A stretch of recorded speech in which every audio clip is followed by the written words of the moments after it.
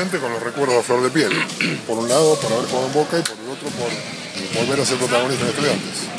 Sí, dos equipos eh, que han marcado mucho. Em, tanto Boca y especialmente Olavarría ha sido la parte más eh, intensa que tuvo mi carrera y eso no se olvida nunca. ¿De Boca de especial? ¿Sos de Boca?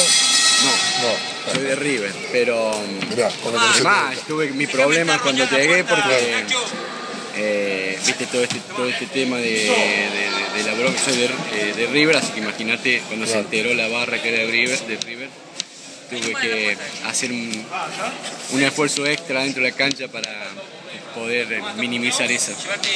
Bueno, eh, pero sos estudiante, el, presente hoy es estudiante. estudiante. ¿Cómo viste el equipo? Hace poco que están preparándose y en un rival de jerarquía.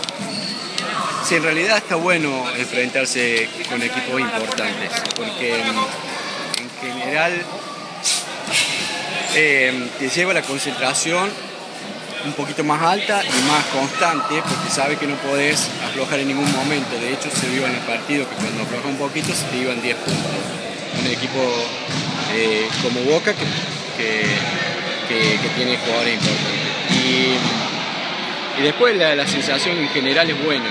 Me gustó, teniendo en cuenta lo poco que, que habíamos hecho básquet de 5 contra 5, teniendo en cuenta que todavía no se conocen los chicos ni yo a ellos, la idea es ir armando una identidad y dentro de eso tengo una, conformidad. Te dio lo que esperaba el equipo y pudiste ensayar muchas variantes. Sí, sí, muy conforme con los chicos que vinieron de, atrás, los juveniles, más eh, me parece que es dar una mano muy importante, era la idea. Eh, pero más allá de eso, en general bien, me encantó Rodrigo como jugó y, cada uno en su fue encontrando y se está amoldando ellos a, un rol eh, que naturalmente lo va a poner el equipo ahí, no hace falta ni, hablarlo, pero, pero bien, eh, buena sensación. Si lo tendrías que clasificar o calificar a los estudiantes en el TNA, ¿qué, apodo le daría a qué va a jugar? ¿Cómo va a ser el No. Yo calculo que mi idea es por ahí eh, ser un poquito más agresivo defensivamente eh, y correr un poquito más la cancha, que acá no se pudo ni, ni Boca ni nosotros, solamente con errores se han, se han hecho jugadas de contragolpe. Eh, pero la idea es eso, levantar un poquito el nivel de agresividad entonces, en esos dos sentidos, defensivo y en el contragolpe. Lo otro tiene que ser un equipo, tiene que encontrar un equipo que cuando no llegue a un juego rápido sea inteligente de jugar. Y hubo un momento en el cual eh, acciones se cumplieron, los roles estuvieron bien marcados, llegó la pelota donde tenía que llegar.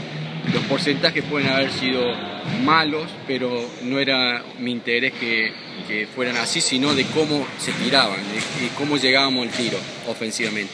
Y defensivamente eh, el tema está en, seguir eh, trabajando, en seguir conociéndose, en saber cuándo tirar una defensa y cuándo no, porque yo estoy dando mi idea, pero quiero también a un jugador que piense dentro de la cancha y que analice qué es lo que está pasando y eh, favorecerlos en ese sentido de, ampliarse como jugador, no ser un robot y, y tener una especie de análisis sobre eso. Pero bueno, más allá de eso, vuelvo a decir, la sensación es buena y me voy tranquilo. Eso que decir los jugadores está bueno. Eh, los juveniles que pudieron actuar, eh, Brocal y Galardo, bien. Sí, bien, me encantaron los dos.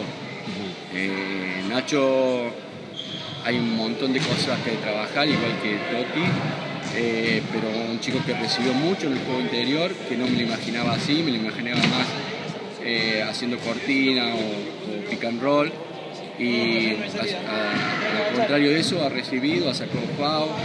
Eh, defensivamente conozco sus características, pero pretendo un poco más de movilidad porque tiene que ser ese, chico que, traiga un poco más de movilidad dentro de, ese puesto.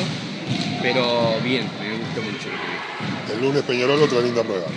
Totalmente, sí, no andamos con chicas, arrancamos bien duro los dos partidos, pero eh, bien, te digo, vuelvo a repetirte, para mí eh, hay algo que es difícil de trabajar, que es la concentración. Entonces, solo están obligados a hacerlo en estos tipos de partidos. Espero que esto sirva para que se hace una costumbre y cuando te toque un rival un poco menos bote, eh, con menos fuerza, esa concentración no baje, ya tenga un, un parámetro alto. Gracias, Lobito, por tu tiempo. No, gracias a ustedes.